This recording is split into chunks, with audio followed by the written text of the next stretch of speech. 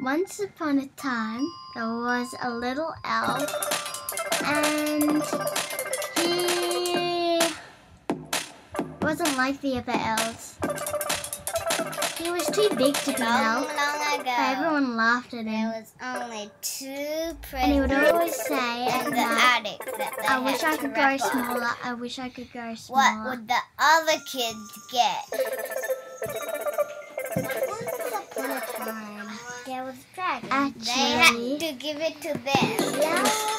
tiny. He was so small, he wasn't any bigger than a They, they Once upon a time there was a But so all little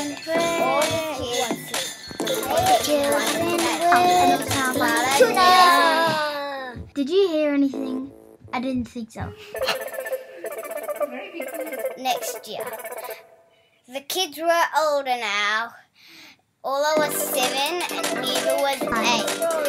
Then And the they year.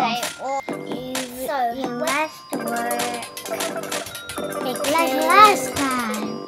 Then But his that auntie Christmas, everyone song. got Christmas papers for presents. did that job because I was not working. And. Then The Santa apocalypse began! They carried, they roamed the hallways of many hotel rooms, sneaking down chimneys, or etc., etc. Firing presents everywhere, disguising atomic bombs. They do not roam the earth searching for blood, guts, gold, breaking zombies. They search, well, they make you look, they try to make things ultimate MA15 plus movie. Now, they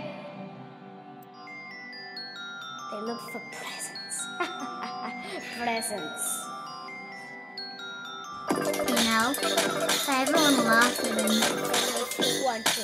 And he would always say at night, I wish I could grow smaller. They were so happy.